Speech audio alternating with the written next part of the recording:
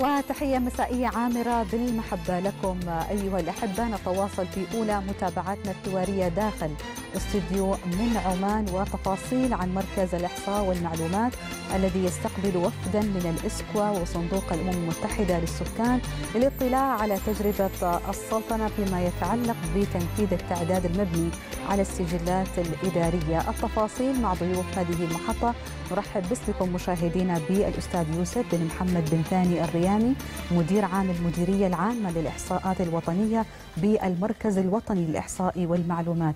مساكم الله بالخير أستاذ يوسف. الله يمسيك بالنور. كما نرحب مشاهدينا باسمكم بالدكتور إسماعيل لبد مستشار السكان والتنمية بصندوق الأمم المتحدة للسكان بالمكتب الإقليمي بالقاهرة. مساكم الله بالخير دكتور في من عمان وفي عمان عموما.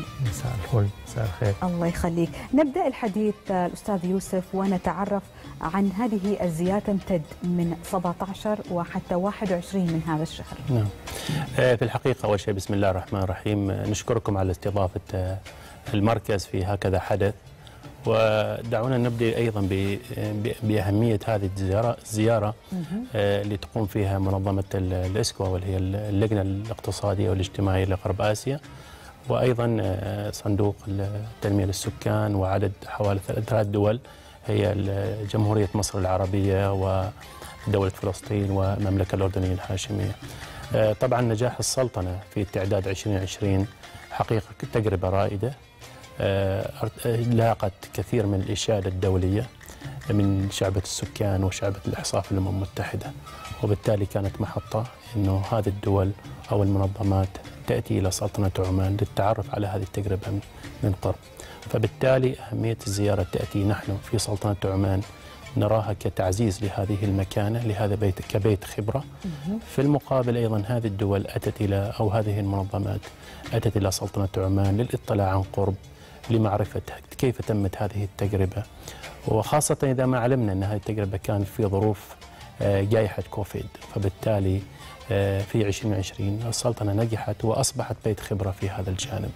فايضا نرحب بإخواننا في هذه في هذه الزيارة واهلا وسهلا بهم في في بلدهم الثاني سلطنة يعني عمان. التجربة كما ذكرت تجربة فريدة لأنها نفذت في أجواء استثنائية في نعم. كوفيد 19 وكما نعلم تلك القيود التي قيدتنا لسنتين وأكثر نعم. تقريبا كيف تنظرون إلى هذه التجربة دكتور إسماعيل تجربة السلطنة في التعداد الإلكتروني 2020 في البداية اسمحوا لي أن أتوجه بالشكر العميق لسلطنة عمان لاستضافتنا استضافة الوفود من البلدان العربية وباسم صندوق الأمم المتحدة للسكان والوفود. أنا بأنقل هذه الشكر.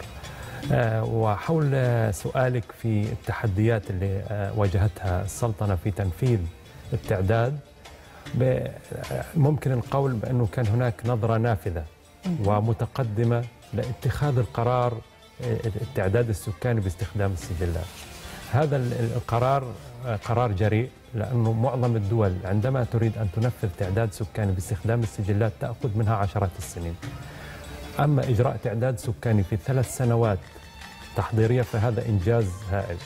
وإذا تحدثنا عن جائحة كوفيد 19 اللي أتت في, الوضع في, في لم يكن مخطط لها في المركز الوطني وفي سلطنة عمان أن يكون هناك جائحة. ودائما نقول رب ضارة نافعة.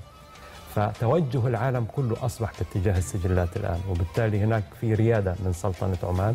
ولو استمرت الجائحة ولم يكن هناك تخطيط باستخدام السجلات لتأجل التعداد إلى ما بعد 2021 نعم. فهذا يعتبر قرار حكيم ويعزى ذلك للقيادة السياسية التي أخذت هذا القرار. يعني وجود هذه التجربة الناجحة المبنية على أيضا على سجلات إدارية وطنية بشكل كامل. ماذا أضافت أستاذ يوسف هذه التجربة إلى العمل الإحصائي في السلطنة والمنطقة عموما؟ هي بالفعل يعني التحول من من نهج إحصائي إلى نهج إحصائي جديد يحتاج فعلا كما تفضل الدكتور إلى قرار. وبالتالي سلطنة عمان اتخذت هذا القرار بأن يكون تعداد 2020 هو تعداد مبني على السجلات الإدارية. كنا في السابق يعني عمان نفذ أو سلطنة عمان نفذت ثلاث تعدادات. هي نسميها التعدادات التقليدية نعم. اللي هي مبنية على الزيارات الميدانية والأسر و... آه، عملية أنه يكون عندك ربط ما بين قواعد آه، المؤسسات في في سلطنة عمان وتبادل ال- البيانات وبشكل آني هي حقيقة إنجاز كبير جدا. سهل علينا نحن في في المركز على الحصول على المعلومة بالشكل السريع. آه، سهل أيضا على توفير المعلومات والبيانات للتخطيط التنموي ومتخذ القرار. فبالتالي أيضا هذا جانب. من جانب الآخر أيضا التحول إلى السجلات الإدارية كنهج وأيضا يعزى عليه في تقفيل يعني تقليص الفترة الزمنية في الحصول على الإحصاءات وأيضا ت- تقليص ال- ال- التكلفة آه، في تنفيذ المسوح الميدانية. آه، هي مبادرة ولله الحمد يعني السلطنة نجحت في هذا في هذا في هذا التحدي نعم. وفيها تحقيق هذا النهج. الآن الدول تنظر في في في تعداداتها القادمة للسير على على نفس النهج اللي سارت عليه سلطنة نعم. عمان وهذا دورنا طبعا نحن في استضافة سواء كان آه، الإخوان حاليا أو من خلال بعض اللقاءات اللي صارت من فترة أخرى إن ننقل هذه الخبرة وهذا هو العمل الإحصائي المشترك دائما بكل تأكيد يعني اليوم أيضا من يتابع تفاصيل التعداد الإلكتروني 2020 السلطنة يجد بأنه تمت إجراءات مختلفة من بينها استخدام حساب الكهرباء لإثبات موقع الأفراد والمؤسسات ما أهمية مثل هذه الإجراءات دكتور؟ آه، في الحقيقة هو من الناحية العلمية مهم. إجراء التعداد المبني على السجلات هناك يجب أن يكون سجلين مهمين جدا. سجل الأفراد وهذا السجل يشمل على بيانات للأفراد زائد المعرف الوحيد الآي دي. وأيضا حتى نعرف خصائص الأفراد يجب أن نعرف أين يسكنون مكان السكن وظروف السكن. وبالتالي يجب أن يكون هناك معرف وعنوان للسكن. وب- آه، هنا تأتي ال- ال- الجانب الآخر هو سجل العناوين. سجل العناوين مهم جدا وهو أصعب شيء في في تعداد آه، المبني على السجلات. لا، باعتبار أن السكان عندما يعلنون عن آه، مكان سكنهم آه، في مر في زمن ما لا يعلنون عنه عندما يتحركون. وبالتالي هذا كانت المشكلة في سلطنة عمان. فبدنا أصبح آه، آه، البحث عن مصدر أوثق. بالرغم أنه هذا المصدر آه، الكهرباء لم يستخدم قبل هيك في بلاد أخرى. استخدم فقط في مجلس دول مجلس التعاون الخليجي بناء على منهجية الثانية أو الفرضية الثانية. نعم. الفرضية تقول أنه معظم السكان في سلطنة عمان عندهم آه، ولوج إلى الكهرباء أو متصلين بشبكة الكهرباء تقريبا صحيح. 98 و9 بالعشرة أو حاليا 100% يعني معظم السكان. وبالتالي كل شخص متصل بالكهرباء له رقم كهرباء. وشركة الكهرباء تأخذ الاسم والعنوان. صحيح وبالتالي هذه الفرضية كانت أقرب الفرضيات لأخذ العنوان بالرغم أنه الفرضية الأ- الأكثر هو تأخذها من السجل الإداري. ولكن لغياب هذا ال- آه، دقة البيانات في السجلات الإدارية بعدم الإبلاغ الفوري عن تغيير المحلات أصبح أنه هناك السجل آه، الكهرباء يؤخذ منه العنوان ويربط العنوان مع آه، آه، آه، بيانات الأفراد حتى يستطيع آه، المركز أن يستخرج بيانات السكان مق- م- مصنفة حب- حسب مكان الإقامة والسكن وظروف السكن وتكون أقرب يعني آه، إلى تكون. أقرب إلى الدقة باعتبار آه، باعتبار منهج؟ باعتبارها م- م- مبنية على فرضية أنه جميع السكان يملكون آه، عداد كهرباء وهذا العداد موثق لدى شركة الكهرباء. ممتاز. يعني حسب اطلاعنا على برنامج آه، الزيارة لديكم زيارات إلى بعض أيضا المراكز آه، السجلات الوطنية والبيانات شرطة عمان نعم. السلطانية نعم. النظام المركزي للمواريد والوفيات منظومة التشغيل والباحثين عن عمل البوابة التعليمية منظومة آه، أساس. لو نتحدث أستاذ يوسف عن هذه الزيارات وأهمية التكامل أيضا والربط بين هذه الجهات جميعا في السلطنة. نعم هو أول شيء يعني نحن نحن نشكر أيضا شركائنا في هذا النجاح. هذه الجهات التي ذكرت يعني ساهمت إسهام كبير آه، في إنجاح آه، يعني العملية عملية التعداد. آه، طبعا آه، ال- ال- الضيوف أو الزائرين هذه المنظومة سوف يطلعون آه، إلى المنظومة هي آه، التي يعني استضافتها آه، شرطة عمان السلطانية. وهي المنظومة الوطنية للسجلات الوطنية. مصب كل هذه البيانات الآن في هذه المنظومة.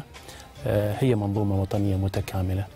آه، راح يعني يزوروا هذه المنظومة يطلعوا على آلية عمل آه، تدقيق الملفات الحصول على البيانات المنهجيات المستخدمة. لكن في المقابل أنه ارتأينا أنه يتم زيارة ميدانية لمغذيات هذه المنظومة. على سبيل المثال من أهم المؤشرات هي المواليد والوفيات وهذه ترصد في قاعدة بيانات وزارة الصحة. وبالتالي راح يكون في زيارة هناك. يرى نرى آلية أو راح يطلعوا على آلية إدخال وتسجيل هذه آه، الوقائع سواء كان الولادات أو الوفيات. في المقابل أيضا من ضمن المؤشرات المهمة التعليم بشقي التعليم العام والتعليم العالي. أيضا راح يطلعوا على مثلا بوابة التعليم. آه، آلية العمل هذه البوابة الأخوان في وزارة التعليم العالي وأيضا في منظومة أساس في وزارة التعليم العالي راح راح يعطوا أيضا آلية عمل هذه المنظومة وكيفية آه، صنفت وكيف أدخلت التصانيف بحيث يكون هناك يعني تناسق بينها وهي المنظومة الأساسية. آه، أيضا ملف التشغيل سواء كان آه، بشكل عام في ال- في القطاع العام أو القطاع الحكومي هو الآن أصبح في منصة وزارة العمل راح يكون في زيارة هناك إن شاء الله. طبعا بالمجمل هذه المؤسسات أيضا يعني شاركت مشاركة تامة في آه، في إنجاح التعداد كما أسلف في 2020 وميزه هذه الق- هذه المنظومة هي الاستمرارية والديمومة. فبالتالي نحن بشكل يومي هذه البيانات تتدفق من هذه المنصات إلى المنظومة السجلات الوطنية. آه، دعونا نقول إنه نحن يمكن في أي لحظة آه، نرغب في تنفيذ عد المنظومة جاهزه فهذا ما يميز آه، الربط ال- ال- التقني واستخدام السجلات الوطنية. نعم. في المقابل كنا نحتاج إلى تحضير يمكن خمس سنوات لتنفيذ المسح صحيح. التقليدي والزيارات والتكلفة وغيره لكن أعتقد أنه هذه هذه تجربة تجربة حقيقة آه، يعني لها مدى آه، قادم مدى بعيد. في تحقيق أهداف كثيرة جدا. آه، المنظومة الآن توفر معلومات هائلة جدا حقيقة يعني آه، نستفيد منها كثيرا في في رصد كل يعني اليوم المؤشرات. الزيارة كما يتابع كما يعني آه، تابعنا حديث أستاذ يوسف هي غنية وثرية بمحطات كثيرة من خلال تتبع هذه البيانات عبر أنظمة مختلفة في آه، السلطنة بدءا من شطط عمان السلطانية وانتهاء من آه، بوابة البوابة التعليمية آه، آه، ربما تطلعات الإسكوا وصندوق الأمم المتحدة للسكان من هذه آه، الزيارة تطلعاتكم؟ في الحقيقة آه، يعني إحنا ارتئينا إنه آه، باعتبار هذه التجربة تجربة رائدة. والدول آه، العربية الأخرى نفذت تعدادات في جولة 2020 ب- يعني تقريبا صارت بين 2015 2017 وهذه الدول نفذتها بمنهجيات مختلفة تعتمد على التابلت والعد التقليدي. فالتوصيات العالمية والأزمة العالمية الحالية في تمويل التعدادات والتوجه إلى ال- التكنولوجيا دفع كل البلدان بالتوجه إلى السجلات سواء استخدامها جزئيا أو كليا. وبالتالي ارتئينا أنه آه، ندعو البلدان العربية التي تخطط إلى تعدادات قادمة ب 2025 ل 2027 لأنه يأخذ منهم وقت لتحضير السجلات أنهم يأتوا إلى السلطنة يشوفوا ما هي الإجراءات والخطوات اللي اتخذوها لتذليل العقبات. باعتبار أن هناك عقبة رئيسية في كل تعداد مبني على السجلات هي التعاون. وهذا التعاون كان موجود في عمان بفضل ال- ال- اللي هو المرسوم ال- السلطاني اللي نسق الأعمال ما بين الجهات كلها وخلى كل الجهات يشتغلوا ضمن فريق واحد وي- وي- ويكونوا هذا الفريق. وبالتالي في نهاية هذه الزيارة نتطلع أنه يكون الوفود أخذت الخبرة الكافية لتبدأ برنامج وأيضا نكون فريق إقليمي. تقني سلطنة عمان أيضا تكون موجودة فيه يتم هذا الفريق باجتماعات محددة حتى يستطيع الدول أنه تنفذ التعدادات وأيضا تستعين بالخبرة اللي موجودة في سلطنة عمان سواء بالتواصل عبر الوسائل الإلكترونية أو بالزيارات أو بنقل الخبرة من السلطنة إلى هذه الدول. دكتور تعتقد إنه هذا النوع من التعداد اليوم الإلكتروني على وجه التحديد فيه من العيوب أيضا كما فيه من الإيجابيات؟ آه، يعني آه، بشكرك على هذا السؤال لأنه لا- ما فيش شيء عمل كامل. بالضبط. وبالتالي هناك بعض العيوب وبعض الح... يعني ال... آه، المزايا. يعني المزايا هي تحدث عنها زميلي الأستاذ يوسف صحيح. وهي تقليل ال- التكلفة والحصول على البيانات انيا. يعني ليست تكون بتاريخ سابق وبالتالي متخذ القرار في أي وقت يستطيع إنه يأخذ. لكن ال- ال- السلبيات تاعت هذه بخصوص هذا ال- ال- ال- المنهجية المبنية على السجلات هي موضوع التغطية. الهدف من التعداد السكاني هو عد السكان جميعا.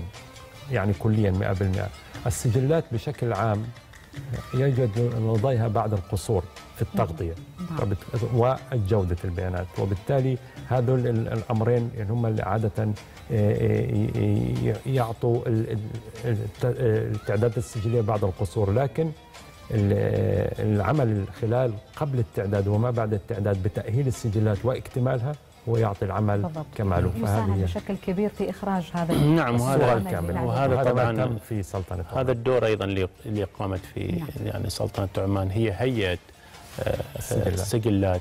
في. بداية ثم يعني هي مرحلة مهمة جدا وبالتالي بناء هذه هذه القواعد في في في المؤسسات هو الذي يعني يحتاج إلى تنسيق وطني. نعم. وطبعا هناك تشريعات أكيد سبقت هذا العمل آه، فبالتالي حقق النجاح. لله الحمد. لله. هي جهود مشكورة. كل تحية لكم. شكرا على تواجدكم الليلة في برنامج من عمان. أستاذ يوسف بن محمد بن ثاني الرياني مدير عام المديرية العامة للإحصاء والإحصاءات الوطنية بالمركز الوطني للإحصاء والمعلومات والدكتور إسماعيل نبت مستشار السكان والتنمية بصندوق الأمم المتحدة للسكان بالمكتب الإقليمي بالقاهرة. شكرا جزيلا لكم شكرا جزيلا لكم وشكرا أيضا لكم أنتم كإعلام. الله يعني واجبنا. على هذه التغطية. وأيضا عبر هذا البرنامج أيضا نرحب مرة ثانية بضيوفنا الكرام بلدهم الثاني سلطنه الله يخليكم. شكرا على. حسن الاستضافة. الله يخليكم واجبنا دكتور. نتواصل معكم أيها الأحبة بعد الفاصل إلى متابعة أخرى والبرنامج التدريبي